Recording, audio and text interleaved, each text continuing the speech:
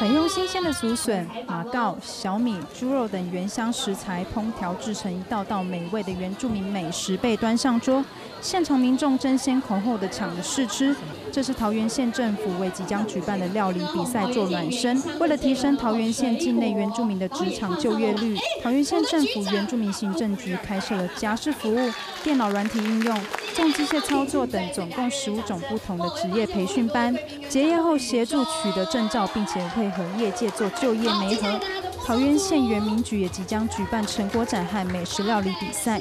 透过比赛改善我们自己的。料理的这个技术，然后再利用这个机会呢，我们办理我们的这个就业的媒合。那就业媒合里面呢，我们有找到十家，大概将近一千个名额哈，让我们自己桃园县的县民事业的部分能够来这里来做一个媒合的工作。十一月二十六日举办的成果展，当天会展出培训班学员制作的糕点和美食佳肴外，同时会举办原住民创意美食料理竞赛，分为社会组和校园组。才团体竞赛，除了让参与中西式餐点料理班的学员能够考取乙级证照，又能展现学习成果。原住民创意美食料理竞赛，竞赛总奖金六万元，喜欢烹调的族人可以大显身手。